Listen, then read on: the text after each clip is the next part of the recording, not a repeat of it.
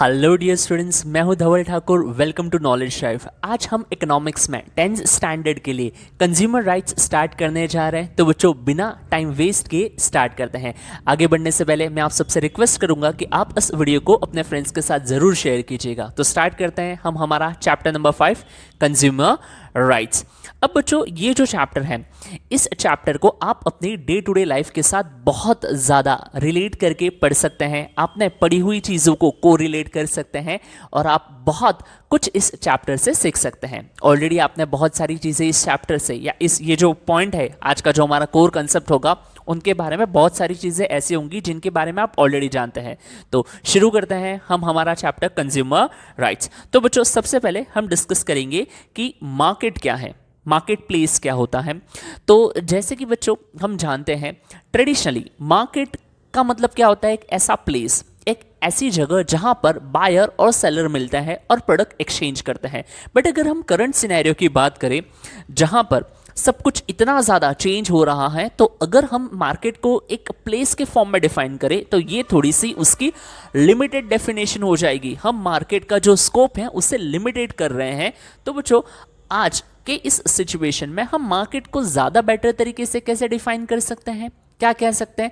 हम कह सकते हैं that market is an arrangement arrangement क्यों? क्योंकि ये फ़िज़िकल भी हो सकता है और ये वर्चुअल भी हो सकता है, जहाँ पर सेलर अपना प्रोडक्ट सेल करता है और कस्टमर वो प्रोडक्ट परचेस करता है वो सर्विस अवेल करता है और जो मोड है जो आ, क्या कहते हैं ये फ़िज़िकल भी हो सकता है लाइक ट्रेडिशनल मार्केट्स और वर्चुअल का मतलब है जैसे हम ऑनलाइन कुछ भी प्रोडक्ट्स परचेस करते हैं सर्विसेज़ अवेल करते हैं। So what is market market is an arrangement through which a buyer and seller they can exchange goods and services for a consideration I hope आपको मार्केट प्लेस का मतलब समझ में आ गया होगा, क्योंकि जब हम इस मार्केट प्लेस की बात करते हैं तो इसमें जो प्राइमरी रोल है, वो दो पार्टीज़ का आ जाता है। एक होता है कंज्यूमर्स जो बहुत ज़्यादा consumers are large in numbers बहुत ज़्यादा हैं कंज्यूमर्स और अगर हम सप्लायर्स सेलर्स की बात करते हैं तो बच्चों, यहाँ पर सेलर्स का नंबर भी बहुत ज़्यादा होता है। तो ये जो चैप्टर है, ये चैप्टर किस बारे में है? कंज्यूमर राइट्स अब ये कहानी कहाँ से आ गई? तो हमने जब से पढ़ना, जानना शुरू किया है, कुछ आपने पुरानी मूवीज़ वगैरह भी देखी होगी, नायक मूवी शायद से आपने देखी हो, या उसकी कुछ क्लिप्स आपने देखी हो, जहाँ पर जो एक सेलर होता है, एक रेशन शॉप वाले का एग्ज़ाम्पल दिया जाता है, जिसमें वो रेशन शॉप वाला क्या करता है दो या पाँच लीटर का जो कैरोसिन कैरोसिन आई होप आपने नहीं सुना होगा, बिल्कुल नहीं सुना होगा पेट्रोल डीजल के ज़माने में आप क्या जानो कैरोसिन क्या होता है तो वो भी एज अ फ्यूल ही यूज़ किया जाता था। आपके लिए इतना काफ़ी होगा जानना। तो बच्चों उसमें फाइव लीटर का जो मेज़रमेंट का जो यूनिट था उसमें आप ऐसे कुछ भी आ, क्या कहते हैं फाइव लीटर क्वांटिटी इंसर्ट कीजिए या कैसे भी क्वांटिटी इंसर्ट कीजिए उसमें सिर्फ़ टू पॉइंट फाइव लीटर ही आता था। और जो रेशन शॉप वाला जो सेलर था वो उसमें ढाई लीटर क्या कर रहा था हमेशा अपने पास रख लेता था। तो वो कस्टमर्स को चीट कर रहा था। और ये जो कस्टमर्स को चीटिंग करने का काम है ये आज से नहीं ये बहुत पहले से जब से प्रोडक्ट्स बनना स्टार्ट हुए हैं, या जब से ये बिज़नेस स्टार्ट हुआ है ट्रेड स्टार्ट हो रहा है, तब से ये काम चलते ही आ रहा है। तो ये जो ट्रेडर्स होते हैं, ये जो सेलर्स होते हैं they are large in numbers but they are united और ऑन द अदर हैंड अगर हम कंज्यूमर्स की बात कर ले तो ये जो कंज्यूमर्स है, वो भी लार्ज इन नंबर्स है बट दे आर स्कैटर्ड सब बिखरे हुए हैं। वो कभी भी अपने राइट्स के लिए, अपने फ़ायदे के लिए, अपने बेनिफिट के लिए कभी भी साथ में आके आवाज़ नहीं उठाते। ऑन द अदर हैंड जो सेलर्स है दे आर यूनाइटेड और इसी सारी गड़बड़ का फ़ायदा उठाते हैं कुछ सेलर्स सारे सेलर्स ऐसे नहीं करते हैं। कुछ सेलर्स ऐसे होते हैं जो अपने आप को रॉन्ग गलत प्रैक्टिस में इन्वॉल्व कर लेते हैं और कस्टमर्स को चीट करते हैं। कस्टमर्स को अगर चीट किया जा रहा है मार्केट प्लेस पे, हम तो सुनते भी हैं, हमने देखा भी हुआ है कि ग्राहक राजा हैं consumer is king and king never bargains ऐसे ऐसे टैगलाइंस लिख के कंज्यूमर्स को क्या कहते हैं मॉरली उन्हें सप्रेस किया जाता है कि नहीं, वो बार्गेन न करे। ऐसा कुछ नहीं है बार्गेन करना आपका क्या कहते हैं जन्म सिद्ध अधिकार है, आप ज़रूर बार्गेन कीजिएगा। तो इस चैप्टर में बच्चों हम यही पढ़ने वाले हैं कि कंज्यूमर्स के राइट्स क्या क्या हैं। कंज्यूमर्स के राइट्स क्या है ताकि वो अपने राइट्स को यूज़ करके वो अपने आप को प्रोटेक्ट कर रख सके। किससे प्रोटेक्ट रखना है कंज्यूमर्स को अपने आप को? सेलर्स से। जो मार्केट में जो रॉन्ग प्रैक्टिसेस चल रही हैं, इन सारी चीज़ों से कस्टमर्स को कंज्यूमर्स को अपने आप को प्रोटेक्ट रखना है और इन सारे प्रोटेक्शन के लिए जो मैकेनिज्म वर्क करता है, जो कुछ rights basic consumer rights provide करता है, आज के इस लेक्चर में हम उन बेसिक कंज्यूमर राइट्स को पढ़ने वाले हैं। तो बच्चों, ध्यान से देखिएगा मार्केट प्लेस क्या है। वैसे तो मैंने आपके सामने सारी चीज़ें रख ली हैं बट फिर भी ऑफिशियली फॉर्मली कुछ चीज़ें देख लेते हैं। So market place refers to physical और वर्चुअल स्पेस जैसे मैंने आपको बताया Sunday market Monday market weekly market एक एक प्रॉपर लोकेशन होती है। Along with that virtual place को भी हमें रिकॉग्नाइज करना होगा as a market in current situation where the goods and services are bought and sold ऐसे प्लेस को हम क्या कहते हैं बच्चों? मार्केट कहते हैं। जी सर ये तो हमने समझ लिया। Now need for consumer protection ये भी मैंने अभी आपके सामने डिस्कस कर लिया। कुछ पॉइंट्स पीपीटी के पॉइंट से देखते हुए समझते हुए चलते हैं। सो so, बच्चों exploitation in market place happens in various ways अब ये जो कंज्यूमर्स का जो एक्सप्लॉयटेशन है it happens in various ways कौन कौन से वेज हैं? मैंने आपको कुछ डिस्कस किए कुछ यहाँ पर लिस्ट आउट है। एक्सप्लेनेशन को कंसेप्ट को कंप्लीट करते हैं. For an example sometimes traders include in unfair trade practices अब ये अनफेयर ट्रेड प्रैक्टिसेस क्या क्या है? For an example shopkeeper weight less than what actually they should five kilo के लिए अगर आप कुछ शुगर पाँच किलो शक्कर लेने गए उन्होंने आपको चार किलो नौ सौ ग्राम हंड्रेड ग्राम शक्कर गायब पचास ग्राम गायब आधा किलो गायब वेट कम करना राइट right? uh, अगर हम गोल्ड की अगर बात करें गोल्ड की बात करें तो गोल्ड जो सेल होता है। प्योर गोल्ड 24 कैरेट्स का होता है। फिर उसके बाद जो ऑर्नामेंट्स बनते हैं, वो 22 कैरेट्स 22 कैरेट में बनते हैं। हॉलमार्क्स वगैरह होते हैं। तो उसमें भी क्या करते हैं, जो सेलर्स है, वो जो लिखा हुआ होता है, उससे कम क्वांटिटी ऑफ़ गोल्ड उसमें मिक्स करते हैं। चावल में वाइट कलर के पत्थर ऐड कर दिए जाते हैं। गेहूँ में भी कुछ चीज़ें ऐड कर दी जाती हैं, जिनका कलर उसके जैसा है। वेट ज़्यादा दिखे। ऐसे सारी रॉन्ग प्रैक्टिस से कस्टमर्स को मार्केट प्लेस पे चीट किया जाता है। और कस्टमर्स के साथ होने वाली इसी चीटिंग को रोकने के लिए कंज्यूमर राइट्स कंज्यूमर मूवमेंट की ज़रूरत है। तो बच्चों when traders charges what they were not mentioned before and when adulterated or defective goods are sold in market, इन सारी प्रैक्टिसेस से कस्टमर्स को बचाने के लिए कंज्यूमर राइट्स कंज्यूमर मूवमेंट की ज़रूरत है। आई होप आपको ये इन्फॉर्मेशन समझ में आ गई होगी। जी तो बच्चों, आगे बढ़ते हैं अब हम। अब हम डिस्कस करेंगे basic consumer rights basic consumer rights यहाँ पर मैंने कुछ I think so five to six one two three four five six six rights mention किए हैं, और भी हैं एक दो जिन्हें आप पढ़ सकते हैं बट आज के सेशन में we will discuss this six basic consumer rights so let's start with the first right जो है बच्चों राइट टू सेफ्टी अब ये राइट टू सेफ्टी क्या है? तो बच्चों राइट टू सेफ्टी ये बताता है कि अगर कोई भी कंज्यूमर वो गुड्स या वो सर्विस परचेस करता है तो वो गुड्स या वो सर्विस उस प्रोडक्ट वो जो प्रोडक्ट वो यूज़ करेगा, उससे वो कस्टमर सेफ़ रहना चाहिए। ऐसा नहीं होना चाहिए कि आपने रातों रात नया फ़ोन खरीदा चार्जिंग में रख के सोए थे और दिवाली का बम बाद में फटा, वो फ़ोन पहले फट गया। तो ये भी एक प्रॉब्लम हो सकती है राइट right? आजकल जो कार्स आने लगी हैं, उन सब में सिक्स एयरबैग्स कंपलसरी कर दिए हैं गवर्नमेंट ने। ये सारी चीज़ें क्या इंश्योर करती हैं? राइट टू सेफ्टी जो कस्टमर वो प्रोडक्ट यूज़ कर रहा है, वो कस्टमर सेफ़ होना चाहिए। वो प्रोडक्ट को यूज़ करने से उस कस्टमर्स की लाइफ पे कुछ भी एडवर्स इफ़ेक्ट नहीं होना चाहिए। इज़ इट क्लियर बाइक चलाते समय हेलमेट पहनना है कार चलाते समय सीट बेल्ट पहनना है, ये सारे स्टैंडर्ड्स क्या इंश्योर करते हैं? Right to safety for the consumers जो वो प्रोडक्ट यूज़ कर रहे हैं। तो बच्चों राइट टू सेफ्टी ये हमारा पहला कंज्यूमर राइट्स है। देखते हैं क्या कहते हैं। Consumers have a right to protect against goods and services that are hazardous to their health और सेफ्टी बीच में याद होगा आपको आप सबकी प्यारी मैगी बंद हो गई थी। क्यों बंद हो गई थी मैगी? क्योंकि उसमें लेड का कंटेंट जो प्रिस्क्राइब है उससे थोड़ा सा ज़्यादा था। तो लेड का कंटेंट अगर खाने के प्रोडक्ट में प्रिस्क्राइब लिमिट से ज़्यादा है तो वो डेंजरस हो सकता है ह्यूमन बींग्स के लिए। इसलिए मैगी पर बैन लाया गया था।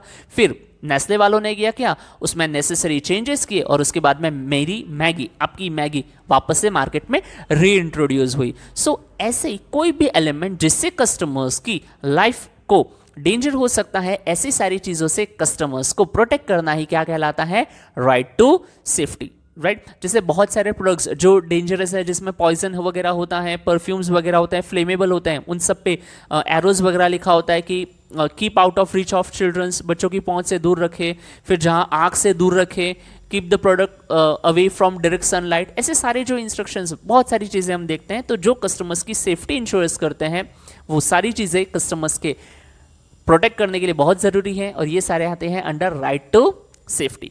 Clear बच्चों? So the product should meet certain safety standards. Consumers should be informed about potential risk. बहुत सारे प्रोडक्ट्स पे लिखा भी होता है कि uh, से अगर आप एलर्जिक हैं एक्स वाई जेड मेडिसिन से या एक्स वाई जेड चीज़ों से तो आप वो प्रोडक्ट को कंज्यूम न करें। कुछ प्रोडक्ट्स या कुछ प्रोडक्ट्स ऐसे होंगे जिन पे स्पेसिफिकली लिखा होगा कि ये प्रेग्नेंट लेडीज़ के लिए नहीं है। ये बच्चों के लिए प्रोडक्ट नहीं है। तो ऐसे सारी चीज़ें जो कस्टमर्स की सेफ्टी इंश्योर करते हैं, वो सारे स्टैंडर्ड्स या वो जो सारे एप्लीकेशन है वो क्यों हो रहे हैं? Just because of this basic consumer right right to safety क्या ये क्लियर है? जी बच्चों, आगे बढ़ते हैं। आपने देखा होगा ये साइड में ये जस्ट फ़ोटो मैंने पेस्ट की हुई है। ये भाई साहब मतलब देखो, एकदम हेलमेट भी पहना हुआ है उन्होंने राइट सूट भी पहना हुआ है और कार चला रहे हैं। हाँ ये सेफ्टी स्टैंडर्ड्स को मीट कर रहे हैं। हो सकता है शायद से वो कोई रेस कर रहे हो, जिसमें ये सारी चीज़ें ज़रूरी हैं। आगे बढ़ते हैं नेक्स्ट राइट की तरफ़ that is right to information अब बच्चों राइट टू इन्फॉर्मेशन ये भी। अब जैसे देखो right to safety right to information ये सारे राइट्स में कुछ इन्फॉर्मेशन होगी जो आपको लगेगी, सर, आपने ये तो वहाँ पर भी बोली थी, ये यहाँ पर भी बोली थी। स्पेसिफिक पॉइंट्स पे ध्यान दीजिएगा। दिस राइट टू इन्फॉर्मेशन ये क्या कहता है कि कस्टमर को पूरी इन्फॉर्मेशन होनी चाहिए regarding the product regarding the price of product regarding the manufacturing date expiry date content जैसे हम कोई भी प्रोडक्ट देखते हैं, अगर आप ब्रेड भी लेने जाते हो तो ब्रेड के जो लेबल होगा, उस लेबल को अगर आप देखोगे तो उसमें सारी इन्फॉर्मेशन लिखी होती है। कितना कंटेंट है, कितना वीट है, कितना प्रोटीन है, कितना फैट है, कितना सेचुरेटेड फैट है, सब कुछ पूरी इन्फॉर्मेशन लेबल पे लिखी हुई होती है। Date of manufacturing date of expiry ये सारी चीज़ें क्या इंश्योर करती हैं? All this things ensures consumers को पूरी इंफॉर्मेशन मिले regarding product is it clear and that is what is called as right to information so consumers have right to receive accurate and complete information about the product and services they purchase जो भी product और service purchase करे, उसकी पूरी information आप तक पहुंचनी चाहिए। क्या क्या आना चाहिए? होना चाहिए। This include clear and trustful labeling, advertisement, disclosure, relevant details such as ingredients, pricing, terms of use, date of manufacturing, expiry date सब कुछ उस प्रोडक्ट के बारे में उस प्रोडक्ट के लेबल पे होना ज़रूरी है। वरना अगर गवर्नमेंट ये सारी चीज़ें स्ट्रिक्टली इंश्योर या इम्प्लीमेंट न करे तो शायद से आपको पता ही नहीं चले कि आप जो प्रोडक्ट कंज्यूम कर रहे हो उसमें कितना कंटेंट क्या है। Is it clear so all this right ensures better product which are offered to public right right? वरना जो सेलर्स है, वो कुछ भी बना के कुछ भी सेल करेंगे राइट right? जैसे रिसेंटली आपने बोनविटा वाला केस भी देखा होगा कि बोनविटा को एज अ रॉन्ग प्रोडक्ट क्या कहते हैं मार्केट किया जा रहा है उसमें इतना कंटेंट तो शुगर का ही है, जैसे हम पेप्सी कोक वगैरह से रिलेटेड भी देखते हैं उसमें कितना हाई अमाउंट ऑफ़ शुगर होता है, जो किसी भी ह्यूमन बींग को बीमार, बहुत ज़्यादा बीमार कर सकता है रेगुलर कंजम्पशन उसका तो क्या होता है यहाँ पर उस प्रोडक्ट में क्या क्या चीज़ें मिली हुई है, वो सब कुछ बता दो कस्टमर्स को, अब वो कस्टमर्स फिर भी कंज्यूम करना चाहता है तो फिर कुछ नहीं हो सकता। बट कस्टमर्स को इंफॉर्मेशन पूरी मिलनी चाहिए। क्लियर बच्चों? नेक्स्ट राइट के बारे में बात करते हैं that is right to choose अरे, ये राइट तो इतना ज़रूरी है, इस राइट के बिना तो कुछ हो ही नहीं सकता। ये right the right to choose ये राइट क्या ऑफ़र करता है कि अगर कस्टमर को कोई प्रोडक्ट परचेस करना होगा, उससे अच्छा लगता है, उसकी चॉइस का है तो ही वो खरीदेगा। आप ज़बरदस्ती उसे वो प्रोडक्ट सेल नहीं कर सकते। इज़ इट क्लियर आपके पास वैरायटी ऑफ़ ऑप्शंस अवेलेबल होने चाहिए किसी भी प्रोडक्ट को परचेस करने से पहले, और अगर आप उसमें से अगर आपको कोई प्रोडक्ट अच्छा लगता है, तभी आप वो प्रोडक्ट परचेस करेंगे। And that is what right to choose is all about आपके लिए क्या सही है, क्या गलत है? आपको कौन सा परचेस करना है? लेट्स से एक प्रोडक्ट आपकी रिक्वायरमेंट पे सूट नहीं करता। उसकी प्राइस ज़्यादा है कलर मैच नहीं हो रहा, कोई भी कोई भी रीज़न है। If a consumer is not accepting that product तो सेलर उसको कंपल्सरी सेल नहीं करेगा। इज़ इट क्लियर देखते हैं। Consumer have a right to the consumers have a right to a variety of options in marketplace. This means they should not be, they should not be limited to a single product or service. Should have freedom to make choice based on their preferences and needs. जैसे अगर हम current situation की बात करें तो कि अगर हमें मोबाइल फ़ोन परचेस करना है तो हमारे पास एक ही कंपनी है क्या? नहीं है। हमारे पास वेरियस ऑप्शंस है। अगर हमें लैपटॉप परचेस करना है वी हैव वेरियस ऑप्शंस हमें शूज़ परचेस करना है वी हैव वेरियस ऑप्शंस हमें इंस्टेंट नूडल्स खाने क्या? मैगी इकलौता ऑप्शन मार्केट में अवेलेबल है? नहीं है। वी हैव वेरियस ऑप्शन उसमें आप अपनी लाइफ आप अपनी चॉइस प्रेफरेंसेस के अकॉर्डिंगली प्रोडक्ट सेलेक्ट कर सकते हो and that is what right to choose is all about क्या ये क्लियर है? जी बच्चों, अगले राइट की तरफ़ बढ़ते हैं। That is right to be heard right to be heard मतलब कंज्यूमर बोलेगा कंज्यूमर कहेगा, और जो सेलर है वो कंज्यूमर की बात सुनेगा। अब वो फीडबैक के फॉर्म में हो सकता है, वो कंप्लेन के फॉर्म में हो सकता है बट जो सेलर है उसे कस्टमर की बात सुननी पड़ेगी। आपके प्रोडक्ट में क्या अच्छा है, क्या बुरा है, ये सारी चीज़ें कस्टमर एक्सप्रेस कर सकता है and that is what is right to heard ध्यान से देखिए। Consumers have right to express their opinions concerns and complain about the product and services customers के कुछ कंसर्न है, कुछ कंप्लेन्स हैं, कुछ फीडबैक्स हैं तो वो सब कुछ कस्टमर्स क्या कर सकता है? एक्सप्रेस कर सकता है। Is it clear business should have mechanism अब बिज़नेस को क्या करना है? बिज़नेस के पास कुछ ऐसा तरीका होना चाहिए जिससे वो कस्टमर्स के फीडबैक और अगर कस्टमर्स के कुछ डिस्प्यूट्स हैं उनको सुन सके उनको सॉल्व कर सके। जिसे हम आफ्टर सेल्स के नाम पे भी जानते हैं। अगर आप कभी कोई बिस्किट का आ, कोई भी फास्ट फ़ूड या कोई भी आइटम्स वगैरह देख रहे थे जैसे चलो मैगी का ही ले लो या डार्क फैंटेसी बिस्किट्स किसी का भी एग्जांपल ले लो। अगर आप उनका पैकेट्स को ठीक से देखेंगे तो उल्टा फुलटा घुमा के देखिएगा, वहाँ पर कहीं ना कहीं फीडबैक का फीडबैक के लिए कुछ लिखा होगा। इंस्टाग्राम हैंडल का एड्रेस लिखा हो सकता है फेसबुक पेज का एड्रेस लिखा हो सकता है। और वो सुनना चाहते हैं अपने कस्टमर्स से कि उनको इस प्रोडक्ट में क्या अच्छा लगा, क्या बुरा लगा। तो इससे क्या होता है? They can improve further who can improve further sellers and customers they can express their feelings towards the product और अगर कभी कभी वो फेवरेबल होता है तो जो सेलर्स हैं जो सेलर्स है they can use those response as the advertisement as well is it clear तो वैसे ही अगर आपको ये चीज़ें समझ में आ रही है तो मैं आपसे रिक्वेस्ट करूँगा कि आप कमेंट सेक्शन में ज़रूर बताइएगा कि आपको चीज़ें समझ में आ रही हैं या नहीं. इज़ इट क्लियर सो कहाँ थे हम लोग? या feedback and provide avenues for dispute resolution अगर कुछ प्रॉब्लम्स हो जाती हैं तो आप हर बार डायरेक्टली थोड़ी केस करने चले जाओगे। मान लो आपने कोई प्रोडक्ट परचेज किया और वो प्रोडक्ट में कुछ खराबी निकली तो फिर डायरेक्ट मतलब आप पहले सेलर के पास जाओगे या फिर डायरेक्ट कोर्ट में केस करने जाओगे? नहीं, पहले हम सेलर के पास जाएँगे।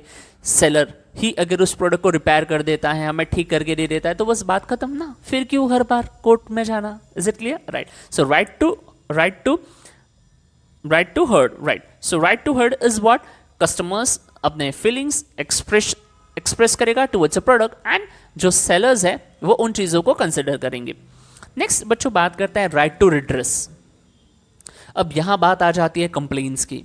अब यहाँ बात आ जाती है एक प्रॉपर मैकेनिज्म के थ्रू प्रॉब्लम्स को सॉल्व करवाने की। तो क्या है, देखते हैं consumers have right to seek compensation और remedies for faulty unsatisfactory product or services. This includes right to refund, replacement, or repairs. अगर आपका प्रोडक्ट खराब निकलता है तो कस्टमर्स आपके खिलाफ कंप्लेन कर सकता है कोर्ट में जा सकता है लीगल एक्शंस लिया जा सकता है and that is what right to redress is all about clear हमारे इंडिया के केस में पुराना कंज्यूमर प्रोटेक्शन एक्ट 1986 भी था। अभी नया वाला कंज्यूमर प्रोटेक्शन एक्ट भी आया हुआ है। हमारे पास आ, क्या कहते हैं dispute forum state commission national commission जैसे कंज्यूमर डिस्प्यूट रिड्रेसल एजेंसीज भी हैं जहाँ पर आप अपने क्या कहते हैं कितना आपको कॉम्पेंसेशन कितना आपका क्लेम है उस हिसाब से आप district level state level national level पर कंप्लेन्स भी फ़ाइल कर सकते हैं। और आप जो भी उसके लिए जो वैलिड कॉम्पनसेशन होगा वो भी क्लेम कर सकते हैं। सो so, ये हैं बच्चों हमारा right to redress is it clear and the last right जो आज के लेक्चर के लिए that is right to a healthy environment हर एक कंज्यूमर्स को राइट right है बच्चों कि वो एक हेल्दी इन्वायरमेंट पर रहे। अगर आप कंज्यूमर हो तो आप एक्सपेक्ट करते हो कि आपको आ, क्या कहते हैं फ्रेश वाटर पीने के लिए मिले साफ़ हवा आपको मिले। इज़ इट क्लियर तो अगर कोई भी प्रोड्यूसर या कोई भी कंपनी एनवायरनमेंट को बहुत ज़्यादा हार्म पहुंचाती है तो लॉन्ग टर्म पे वो मार्केट में सर्वाइव नहीं कर सकती। गवर्नमेंट भी उनके अगेंस्ट एक्शंस लेती हैं। गवर्नमेंट एक्शन न ले तो कंज्यूमर्स खुद अपनी आवाज़ उठाकर ऐसे कंपनीज़ के अगेंस्ट एक्शन लेने के लिए गवर्नमेंट से अपील कर सकते हैं। So consumers have a right to access product and services that do not harm environment इसीलिए बहुत बार कंपनीज़ अपने आप को ऐसे प्रमोट करती हैं कि वो एनवायरमेंट फ्रेंडली हैं। उनके जो प्रोडक्ट्स हैं, वो इन्वायरमेंट फ्रेंडली है। वो इन्वायरमेंट को मिनिमम हार्म पहुंचाते या बिल्कुल भी हार्म नहीं पहुंचाते, या फिर वो इन्वायरमेंट की इनफ इनफ क्या करते हैं इनफ मेजर्स एडॉप्ट करते हैं कि इन्वायरमेंट कैसे रहे सेफ़ रहे लोगों के लिए। Is it clear this includes environment friendly option and the right to be inform about environment impacts of certain products बहुत बार अगर आपने देखा होगा आ, कि कहा जाता है मतलब ये बच्चों का हमेशा एक फेवरेट सा एक्सक्यूज़ होता है कि एक पेपर बनाने के लिए इतना खर्चा होता है राइट इतने पेड़ काटे जाते हैं। तो कंपनीज़ अपने आप को कैसे मार्केट करती हैं कि वो आ, क्या कहते हैं जो पेपर्स है जितना वेस्ट हो रहा है उससे ज़्यादा पेपर्स वो क्या कर रहे हैं? रिसाइकल कर रहे हैं। तो कंपनीज़ की ये भी एक स्ट्रैटेजी होती है जो वो कस्टमर्स को, लोगों को पब्लिक इन जनरल को इम्प्लीमेंट करती है कि हम जितना नेचुरल रिसोर्सेज यूज़ कर रहे हैं, उससे ज़्यादा हम एनवायरनमेंट के लिए कुछ कर रहे हैं। बहुत सारी कंपनीज़ ट्रीज प्लांट्स करती हैं। करती हैं नहीं करती हैं? जैसे मामाज अर्थ का वगैरह देखा होगा, उनकी शायद से एडवर्टीजमेंट में वगैरह ऐसा कुछ था कि आप हमसे जो भी प्रोडक्ट परचेस करोगे, उसके अगेंस्ट हम एक ट्री प्लांट करेंगे। बहुत सारे टेक्निक्स हैं, बहुत सारे मेथड्स हैं जो कंपनीज़ यूज़ करती हैं ताकि जो करंट जनरेशन और जो फ्यूचर जनरेशन हैं उनको एक सेफ़ एनवायरमेंट मिल सके। तो बच्चों, ये तो था हमारे बेसिक कंज्यूमर राइट्स जिसके रिगार्डिंग आज हमने डिस्कशन की। अब आप मुझे बताइएगा कि आपको अगला टॉपिक कौन सा चाहिए, या फिर करंट जो चीज़ें हैं, उसमें और क्या एक्सप्लेनेशन में वेरिएशन चाहिए? Do let me know in comment section and share this video with your friends clear और मिलते हैं नेक्स्ट क्लास में। Bye take care